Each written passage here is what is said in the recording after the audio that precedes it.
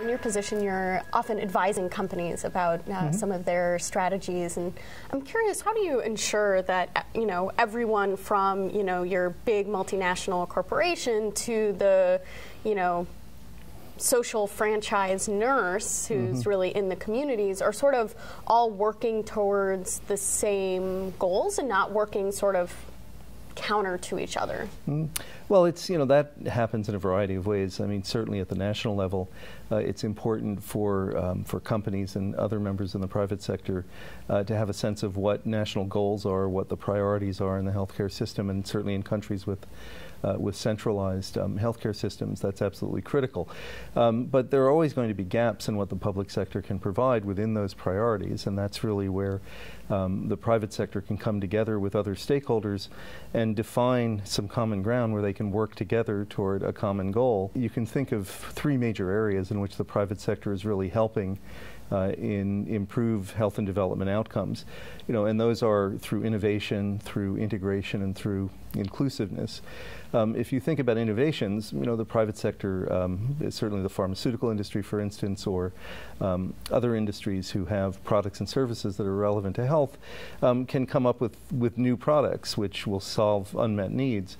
But there are also innovations in business models. I mean, a great example, uh, for instance, is Novartis um, developed in India a project called Arogya Parivar, where they worked with um, with community-based practitioners, provided them with training and with a set of products that they could use to provide primary health care interventions in the community. And they're now reaching millions of people in communities throughout India who just didn't have access to that kind of, uh, of healthcare resource before. And that's improving health outcomes, it's helping people to be more productive, and uh, ultimately it'll have an impact on economic growth. Uh, but it's also actually returning um, you know, it provides a return on investment for Novartis so that they can continue to do this in a sustainable way. So that's a, a good example of an innovation in business models.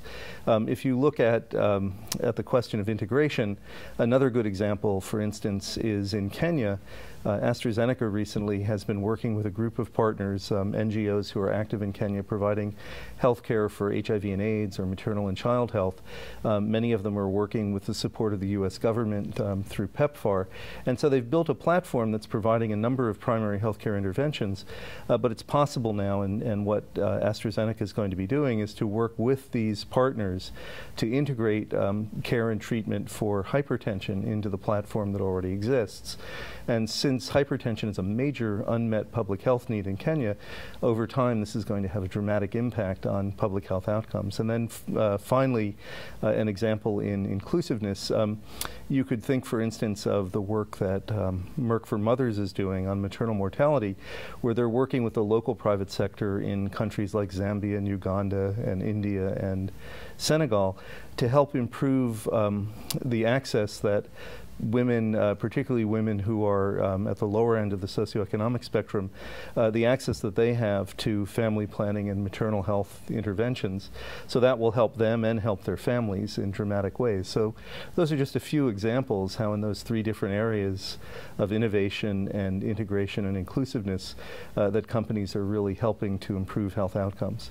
You know, it's not just pharmaceutical companies who are engaged in this. If you look at uh, companies like Unilever or Procter & Gamble, you know, big consumer products companies, if you um, look at companies uh, you know, like Anglo American, a mining company, which has made a you know a, um, a, really major investment in helping improve the health of its employees and their families and the communities where they work.